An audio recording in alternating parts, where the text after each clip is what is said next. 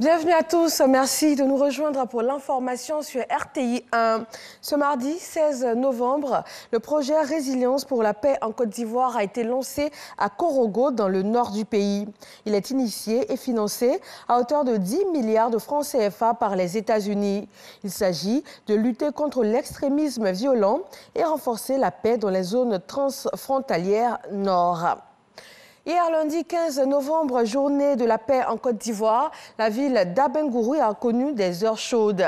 À l'origine, un accident qui a entraîné des échauffourées entre la population et les forces de l'ordre. Un motocycliste tentant d'échapper à la police s'est fait renverser par un véhicule. Il a aussitôt été pris en charge dans une structure sanitaire, mais les rumeurs ont vite fait d'annoncer son décès, d'où le courroux de la population. S'en est suivi des manifestations dans les rues d'Abengourou. Depuis, le calme est revenu dans la ville et il se tient actuellement une réunion entre le ministre-gouverneur et la population.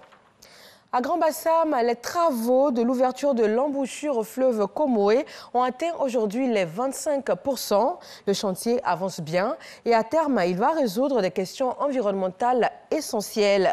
Serge Coléa.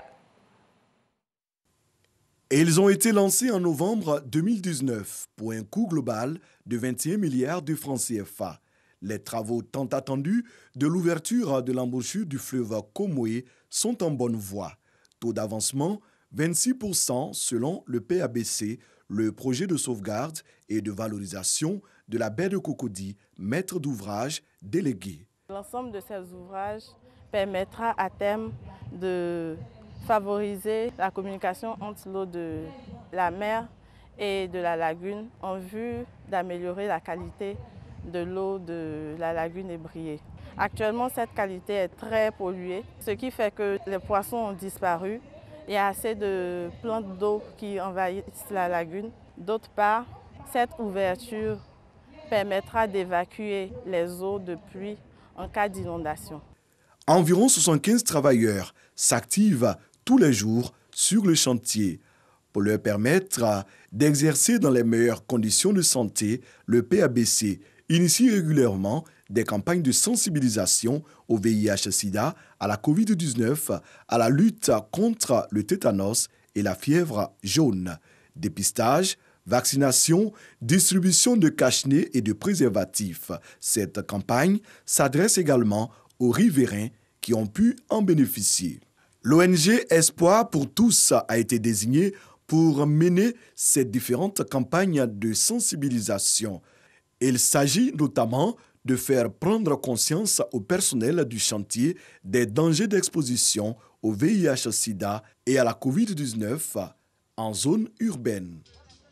La riziculture pluviale en Côte d'Ivoire représente 23% de la production nationale. Elle se caractérise par des exploitations de petite taille et sont grandes consommatrices de main-d'œuvre familiale. Mais les contraintes les plus importantes restent la faible fertilité des sols et la sécheresse.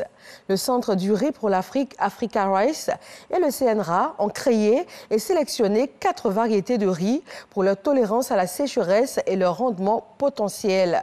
Le dossier EcoPlus de ce 20h s'intéresse à ces nouvelles variétés qui devront appuyer la Côte d'Ivoire dans sa marche vers l'autosuffisance en riz.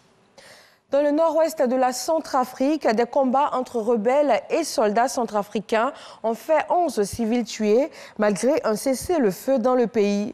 Des rebelles infiltrés lors du marché hebdomadaire ont eu des échanges de tirs avec les forces centrafricaines. Bilan 11 civils tués, 9 hommes et deux femmes ainsi que huit personnes blessées.